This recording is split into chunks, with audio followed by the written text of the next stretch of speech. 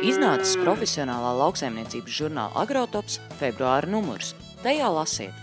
Iepazīstinam ar ierīci arkla masas daļējai pārnešanai uz traktoru, tādējādi uzlabojot riteņu saķeri un paaugstinot darba ražīgumu. Aizvadītajā Eurotieru izstādē prezentētā jaunākā tehnika un tehnoloģiskie risinājumi cūkopībā. Aivieksts pagastu zemnieku saimniecībā Ozoliņa izveidot Latvijā lielākā mājas vīnu ražotne. Te gatavo upeņu, ābolu un rabarberu vīnu no kaimiņu saimniecībās izaudzētiem augļiem un ogām. Salatsgrīvas novada zemnieku saimniecības robežnieks saimnieks Sandrs Eizenbergs dalās savā pieredzē piensaimnieka darbā. Kā pasargāt augļu kokus no bojājumiem, kas rodas tad, kad augsni klāja biezs sniegs, bet tā tomēr nav sasalusi. Uzziniet vairāk par lauku pupu agrotehniku slimībām un kaitēkļiem, kā arī augu aizsardzību. Tas viss un vēl daudz kas cits noderīgs jaunajā februāra numurā.